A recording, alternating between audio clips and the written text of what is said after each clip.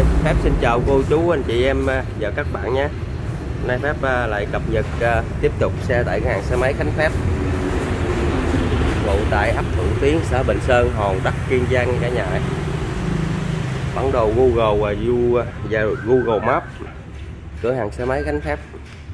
Ha, quý anh chị em cứ sạch cửa hàng xe máy khánh phép thì sẽ biết cái địa chỉ cụ thể cũng như là cái khoảng cách à, từ quý anh chị em cho đến cửa hàng nhiêu km đi nhiêu giờ ha.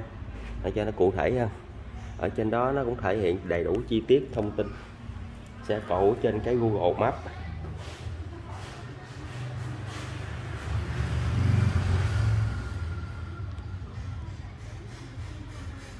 Để em điểm lại các xe tại cửa hàng ha.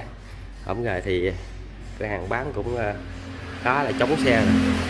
Ha còn lại mấy cái xe à, à, cũng như mấy ngày trước vậy thôi. Hôm nay à, xe mới về à, hôm nay xe mới thì chưa có về nha cả nhà. Cũng đang à, trên đường về nhiều lắm á nhưng mà chưa có tới nhà.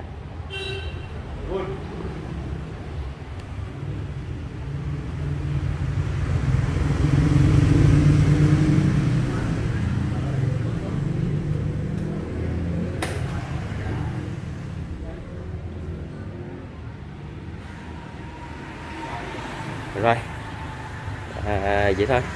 Anh chị em cần cái gì thì alo dùm em ha. Đây là cái dãy ạch 150 ha. Rất là đẹp. À, cái lô ạch 150 à, đợt này về rất là đẹp. Còn là xe lướt thôi. Còn này rẻ khách ha xe ga.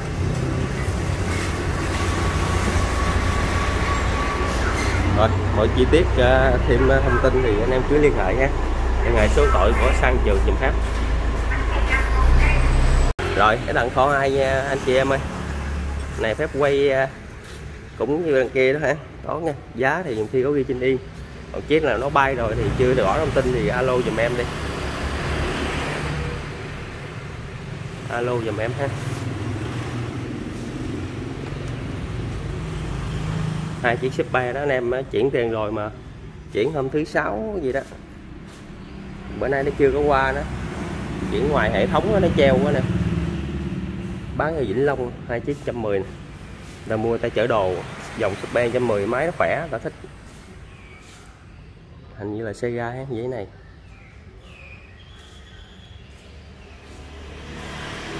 Còn chiếc qua tháng đẻ này chưa ai mua nè.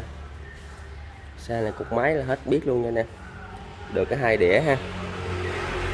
Hai đĩa xui vai hai đĩa nhìn ngầu đấy. Dài dọn xương xương nữa là đi là quá độc luôn.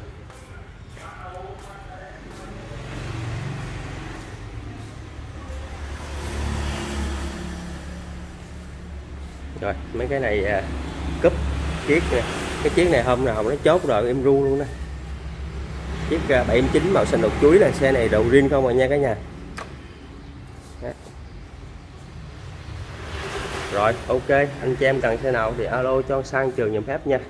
Số của anh sang là 032 55 55 330 số của trường là 0961 374 375 rồi chúc cả nhà có một ngày làm việc thật hiệu quả và tuyệt vời xin cảm ơn.